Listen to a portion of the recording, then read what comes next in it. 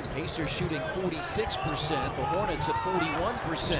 Biyombo pounds it down. Yeah, I think Mahinmi's right, too. I think he may have pushed off a little bit.